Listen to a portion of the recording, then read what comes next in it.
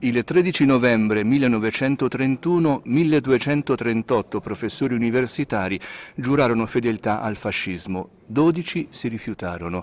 Davide Coco, uno di quei 12 no, fu quello di Mario Carrara. Sì, ma Mario Carrara era un, un cioè lui era un professore universitario, insegnava uh, antropologia criminale, quindi anatomopatologia, uh, era allievo diretto di di Lombroso, in realtà nella vita era il genero di Lombroso, lui sposò la, la figlia.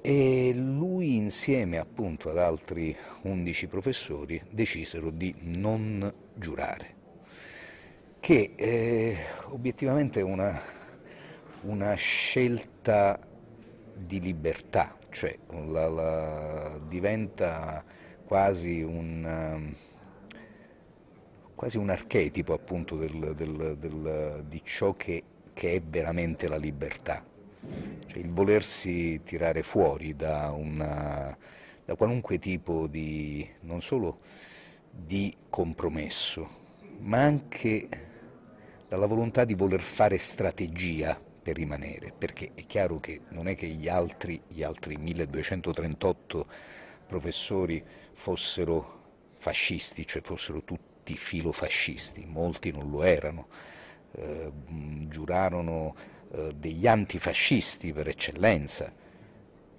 magari giurarono perché pensarono semplicemente al, a, a, rimanere diciamo, dentro il sistema anche per poterlo combattere, mentre quei dodici fecero una scelta definitiva che era secondo me una scelta come posso dire, anche di, di, di mh, mm, erano intonati a quello che, che, era stata la propria vita, che era stato il proprio impegno, che appunto era limitato all'insegnamento e nient'altro. Quindi non, non, accettarono il dovere, il, il dovere eh, far, dire, far, far, far sottostare la, la, la, scienza al fascismo, cioè a un obbligo, a una richiesta appunto di giuramento.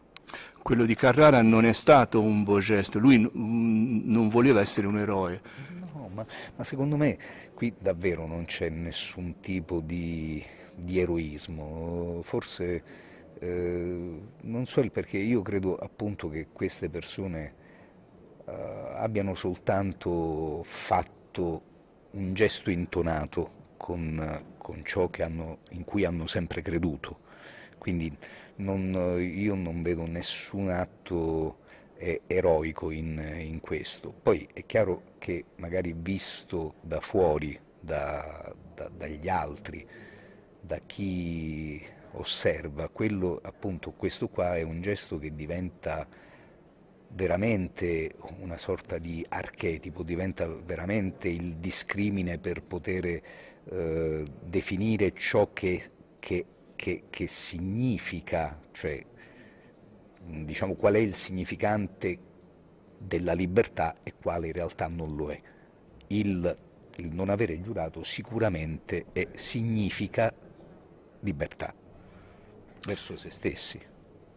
Claudio Fava parla del senso della dignità e dice contro la decenza delle persone non puoi combattere, puoi metterle in galera ma non puoi spezzarle. Beh sì, assolutamente.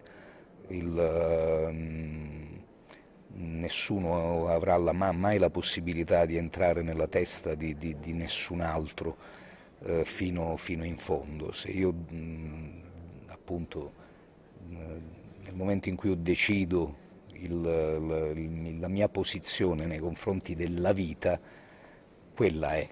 E se io credo che, che eh, il, la, la, bellezza significa, significa essere intonati a ciò che uno crede, semplicemente metto in atto quella, quel, quel, gesto lì e quel gesto lì diventa appunto eh, decente, almeno per me, cioè, se, altrimenti, per come io credo che sia il, il rapportarmi con, con, con, con tutto il resto, altrimenti è indecente.